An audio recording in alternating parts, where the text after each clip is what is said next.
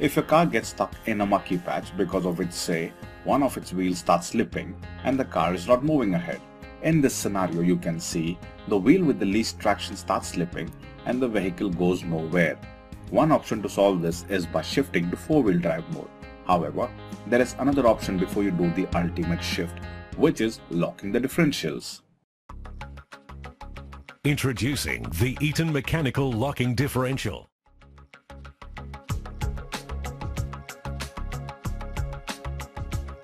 At the heart of the Eaton mechanical locking differential is a beveled gear set, similar to the ones in the conventional open differentials. There are two pinions located on the cross shaft and two side gears splined to the axle shafts. These gears are precision forged for high impact strength. One of the side gears has cam ramps machined on the back face of the gear. These ramps mate to corresponding ramps on the cam plate. Also, there are three detent protrusions on the cam plate, which make two holes on the side gear. The detent system prevents the cam plate from ramping until a predetermined torque is applied to the gear teeth. When the cam plate rotates out of the detent, the ramp surface on the cam plate engages the ramp surface on the side gear. As the cam rotates further, the ramps cause the cam plate to move in an axial direction, the ramps are symmetrical, so the same action occurs in both directions of rotation.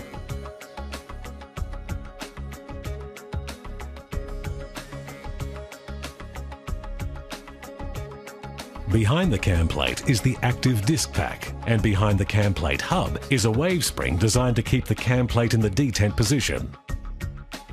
Following the active disc pack are more friction discs, a snap ring and ear guide clips, designed to maintain disc gear alignment during assembly.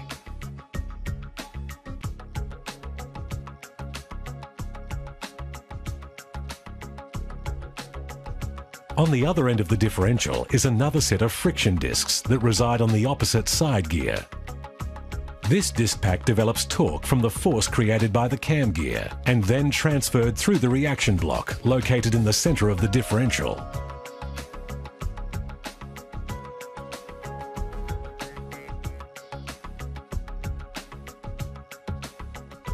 The device that activates the cam plate is the engagement mechanism. The engagement mechanism is connected to the cam plate by a shaft that is geared to the cam plate. The mechanism is attached to the shaft through cone clutches and an end plate on each side. The mechanism can rotate relative to the shaft when the torque between the shaft and the mechanism is greater than the cone clutch torque. The mechanism is made up of two flyweights that are spring-loaded toward the center of the shaft. The shaft rotates whenever there is a difference in the speed between the wheels.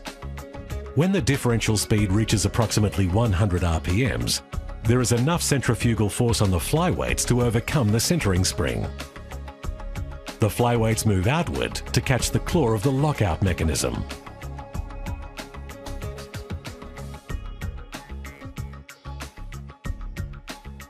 There is one claw for each direction of rotation on the engagement mechanism.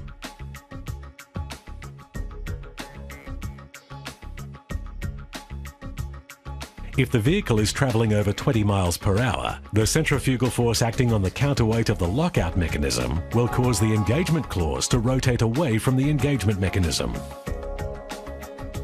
When this happens, the differential cannot lock up at high speeds.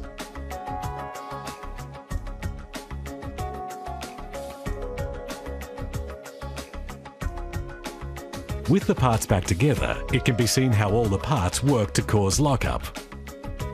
With one wheel spinning, the cam side gear rotates relative to the case, causing the engagement mechanism to rotate at a higher speed. At a given speed, the flyweights will swing out and engage the claw on the lockout mechanism.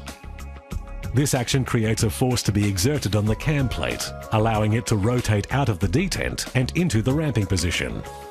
The active friction disc engages, causing the cam ramps to self-energize, until enough torque is developed between the wheels, allowing them to lock together. With the wheels locked together, maximum driveline torque is available to the high traction wheel. And because it's automatic, the traction is available when you need it. This self-engaging diff lock is so much better than manually switched lockers as it's available when you need it, not after you've realised you need it.